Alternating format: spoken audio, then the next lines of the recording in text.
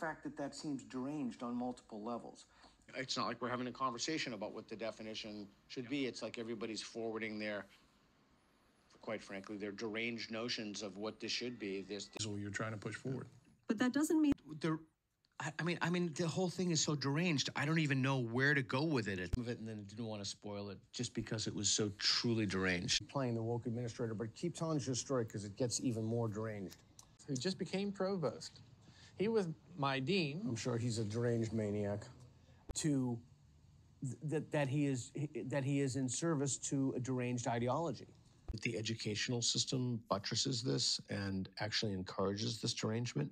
Have you thought about suing these people? I would have been seduced by this increasingly popular and utterly deranged belief system. Them videos of woke people doing deranged things. That's one way. Figure out how to kind of nudge them in the right direction out of delusion and derangement and toward not even anything necessarily positive of it. There's something uniquely deranged about this and uniquely damaging to civilization. In fact, of the types of thinking. Now, what do you think a reasonable response to that utterly deranged position would be? DC is woke.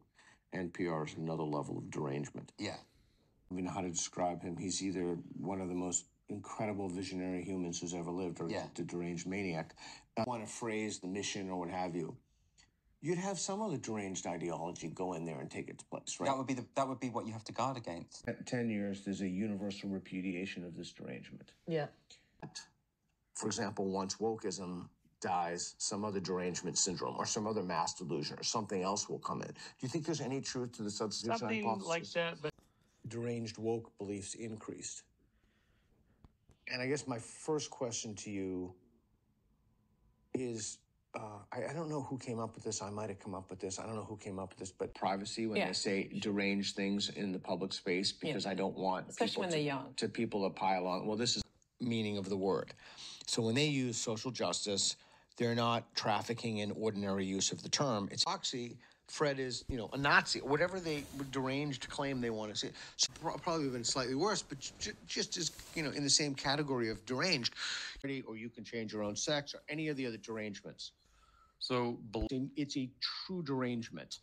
Uh, so thanks. I can give you anecdotes of systemic derangement, but what what see what new form of derangement we have today?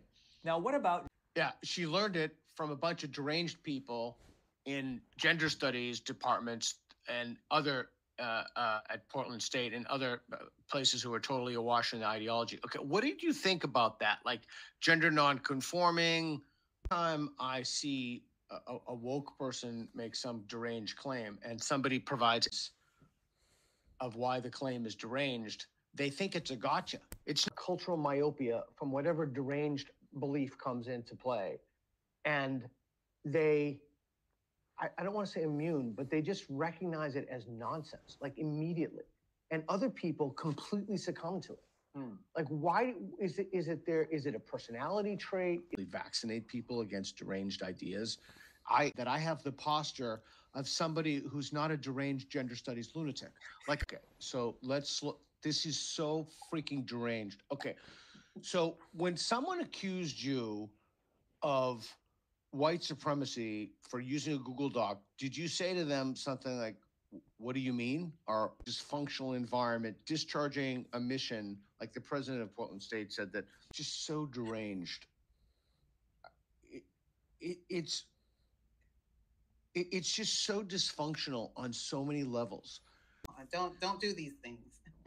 and so they pass that sheet of derangement out to to whom racial justice or equity or whatever whatever mm-hmm. derangement you want to say or or off mission so portland state in my opinion has gone to crazyville right the whole place is suffering from a mass institutional derangement and that's been embedded in their faculty governance, their procedures, their DEI, everything. The president, the selection of the president. I mean, I, I don't everything. Okay. In universities to help ameliorate the derangement syndrome or to increase free speech